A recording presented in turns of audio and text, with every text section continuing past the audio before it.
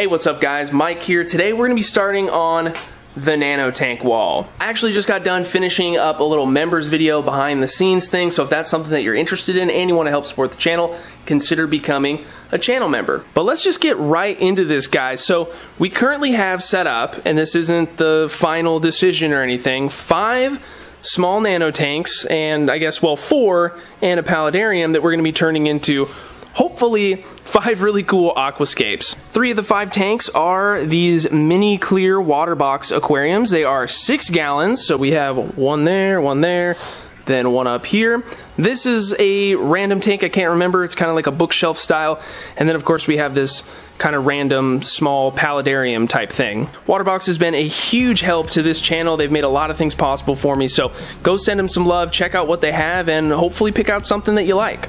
Let's get into what we're going to be doing today, guys. We're going to start out by scaping the first of five, and this is going to be this tank right here. I already have gotten started a little bit here, so we have a couple of bonsai trees. That's going to be the obvious thing.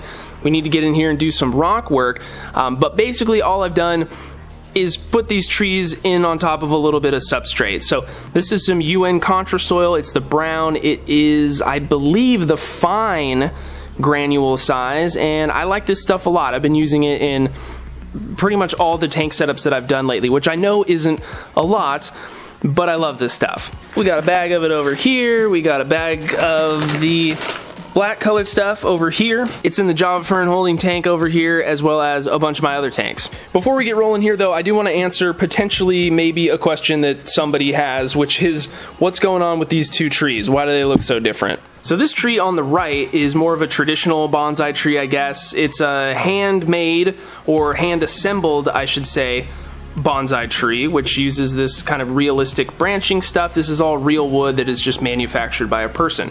Uh, same thing for this one. Obviously, there's just a different style. So this one uses the little pedestals. So the the concept is basically the same. You're going to get your plants in this one. You're going to set them in to the branches and they're going to kind of self-hold, at least with most plants. And then this one, you're definitely going to have to use some super glue to hold them onto the pedestals. And what I want to do with this scape is just basically highlight the differences between the two. And we're probably going to end up using two different plants because uh, I think that's just what we're going to have to end up doing. You could use the same plant if you wanted to, like you could put buces in between the branches and then also glue it over here. But I think what we're gonna do is do this one up like I've done before, which is use Monte Carlo, and then we're gonna use some buce on this one. These bonsai trees definitely come in different sizes, guys. Over here on my super messy table, we have quite a large tree, which is actually only half of what it was originally. I had to break this piece off of it because it was the right thing that I wanted for the Ancient Gardens tank, but if you can imagine how big some of these things can get, it's pretty impressive. And then over here we have some more smaller ones. This is a medium-sized one, I believe, or at least that is how it was classified as, and then another small one that's pretty close to uh, that one that we're going to be using. If you guys haven't had the chance to aquascape with one of those little mini bonsai trees, I recommend you try it. The smaller ones can be pretty affordable, and they're great for smaller tanks. The larger ones can be pretty expensive, so just keep that in mind. Some good places to find them are Buceplant, Flip Aquatics, and then there's a third, I think it's like Bonsai Warehouse or something like that. I'll put links for all the places where you can find them in the description if you're interested. And with that, guys, I think it's time to start the epic aquascaping montage.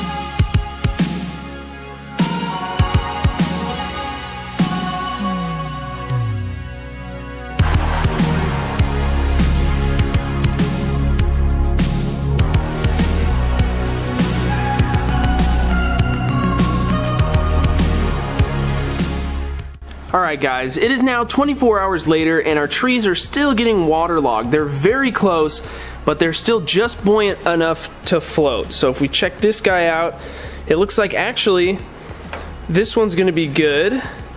It's almost perfectly buoyant. It can just kind of hang in there. If we left it in another day, it would totally be ready to go. Let's check this guy out. I think he's going to be a little bit more buoyant.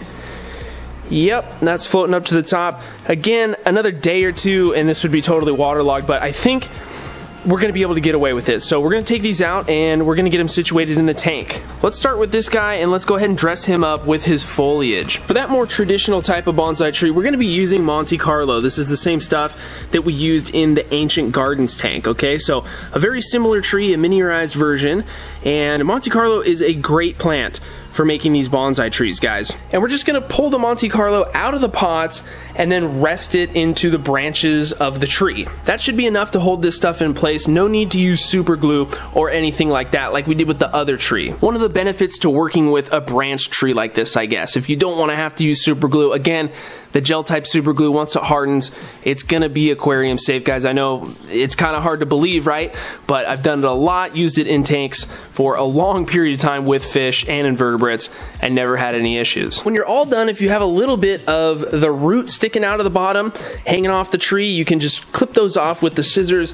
It shouldn't impact the growth at all, and it'll make it look a little bit nicer. So before we comment on the tree we just made, guys, look at how many pots this little tiny tree took. Okay, so one, two, three, four, five, six, seven, eight, nine, ten pots, and I will say we probably could have used half as many if we would have let those grow out a little bit longer. That honestly is probably the best way to do it if you end up getting pots that don't have a ton of foliage. And so you can just kind of adopt the setup that I've figured out here, which is the little greenhouse method. So just by putting these in an inch or two of water and letting them hang out there, all immersed like this, they will grow very fast. Um, probably in a month, you would double, if not triple, the foliage on each one of those pots. So that is a method that I really recommend for Monte Carlo. I know it's not the cheapest plant in the world, and you do need quite a bit of it when you make these trees. So keep that in mind. I know it might not look super pretty, okay, and it is a little bit more bare, but once this stuff starts to grow, this whole thing is going to be covered in no time, okay? And it's gonna look really good just like the trees ended up looking in Ancient Gardens. It just takes about a month and a half.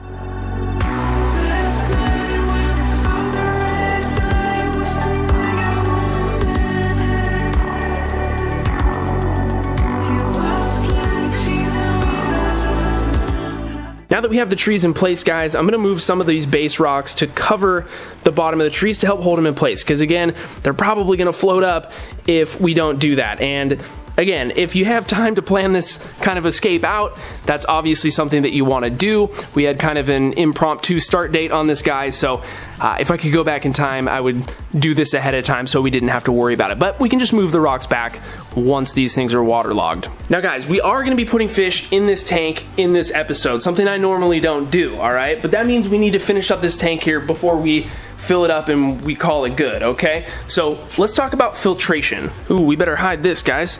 Now, filtration for smaller tanks, you can get away with a lot. And we're gonna be using a bunch of different filtration, or at least a couple different types on the tanks down here. So you can go with the simple HOB. That's always a good choice, one of my favorites.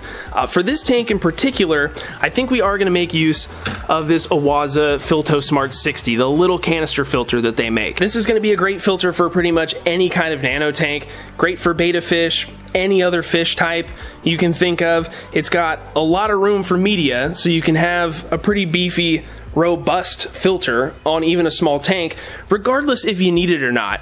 In a tank like this, I'm not really concerned about filtration, to be honest with you. I'm more concerned about getting that water movement, okay? And that's exactly what this thing is going to do. It's going to filter the water around the tank, give the plants plenty of opportunity to grab nutrients, and it's going to do so better than an HOB, right? It's got some directionality to the flow versus an HOB is just going to pour it down and then cause like an upwell.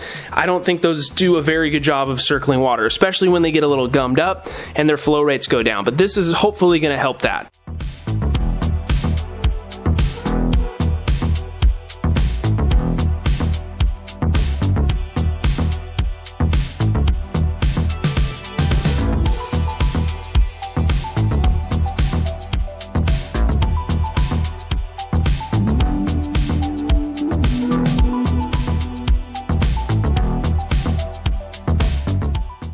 Right, it looks like we got lucky, and the trees haven't floated up yet, guys. So I'm crossing my fingers, and I hope they don't. But we do need to talk about what we're gonna do now because there's a few things I wanna change. One is the fact that we can see the filter back there from the front of the tank. So we're gonna just get a white piece of construction paper and put it up behind there, and that way we won't see the filter. The second thing is gonna be CO2, okay? And it's in my experience that Monte Carlo can be fine without CO2, but you need it initially when it's starting to get going. Once it started to grow and it's happy, you can then remove the CO2 and it can be just fine. It's not going to go anywhere, okay? It's already figured out how it wants to live its life and then it's just happy that way. So, in the beginning, we are going to be using CO2 on this tank, and that's solely for the Monte Carlo. Because if we just leave it in here without the CO2, we might get lucky and it won't die off its leaves are going to get kind of small and it's going to just be chilling, but it's not really going to give us the effect that we want. We need this stuff to grow. We need it to bush out and grow downwards. And CO2 is really the key to that, in my opinion. The hair grass will also like the CO2 a lot and it'll help encourage it to spread out and eventually form a carpet. The buce and the dwarf sage they're probably not going to care all too much, but it's overall really going to help the look of the tank. You guys might be familiar with CO2 Art. They're the company that makes the regulators that I use down here, and they recently just sent me a bunch of stuff in this box. So we have the Pro SE series regulator, and we're going to use that in conjunction with the CO2 adapter for the paintball tank that will ultimately feed our aquarium with the CO2. I'm not going to go through the whole process of setting up the CO2 system. You guys are probably familiar with this. If you're not, I'll eventually have a detailed guide on how I like to do it over on the website, on the blog. So be on the lookout for that. Also, guys, if you want to get some CO2 art stuff, regulators, diffusers, CO2 lining, anything. They sell a ton of stuff, and we got you a code, a 10% off discount. Use code AquaPros at checkout and get 10% off. So we have filtration done, we have CO2 done. Something I didn't touch on was the lighting, guys. We just have uh, a current serene LED that's hanging here, so two zip ties holding this thing on. That's totally going to work out perfect for us, and now we don't have to have individual light fixtures on all of our tanks. And we have the same thing that's going to happen up here. We just haven't gotten there yet. The last thing I want to do before we call it a day though is add in a little bit of Fritz TurboStart. This is going to help to get the bacteria cycle going, make sure that we have plenty of nitrifiers that are going to be ready to detoxify all the ammonia to nitrite, from nitrite to nitrate, and then we should be ready to add fish tomorrow, or even the same day if we wanted to stay up late tonight and do what we could. But we'll come back out tomorrow. We'll be all ready to add our fish. All right, guys, let's add the fish. Just went and grabbed these chili rasboras from the holding tank that they've been in for a long time. Let's get them in here.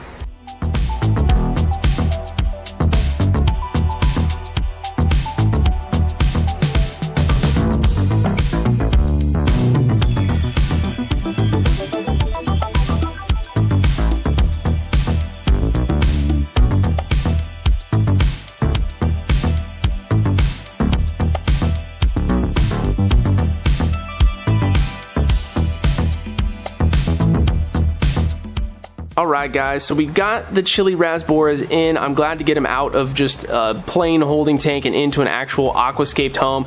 They're starting to get more comfortable. Still quite a few of them here in the back. Let's try and get a focus. They're just navigating around, getting used to their new home, as fish always do when they're in a new tank. I did feed them a little bit of food, so there's a couple up here still getting some nibbles on. And something I did notice, guys, a while back in the holding tank was that we had a couple of the purple emperor tetras in that holding tank, which means somehow those fish got into the Ancient Gardens aquarium. There's one right there for you. So two of those guys, and it's kind of weird because I don't remember ever taking plants from that Tetra tank and putting it into Ancient Gardens, so it's a little bit of a mystery as to how those fish ended up there. But the more the merrier, you know, since they're small and they're about the size of the chilies, maybe a little bit bigger, um, we're just gonna go ahead and leave them in there um, until they get a little bit bigger, and then we'll put them back in with the Kerris. I think it said Purple Emperor Tetras. We're talking about Kerri Tetras, guys, my bad. So guys, that is the first of the five tank nanoscape builds that we're gonna be doing here. Let me know down in the comments what you think of the scape. It's a really simple one. Um, we are kind of doing, I guess, an experiment with the two trees just to see how they turn out. Let me know down in the comments which tree you guys like better as of right now. Okay, so the buce tree or the Monte Carlo tree. Now, personally, I think at the end of the day, the Monte Carlo tree is going to turn out better long term just because I know it looks like a mess right now. It doesn't look good, but give it a month and this thing will look fantastic, okay? And it'll be interesting to see how the Buce does. You know, Buce is a slow growing plant, and it'll just be interesting to see what happens with this thing. But let me know which one you guys like so far in the comments below, guys. Thank you so much for watching. Don't forget to subscribe if you're new. Hit the notification bell so you know when I upload the next video, and we'll see you next time.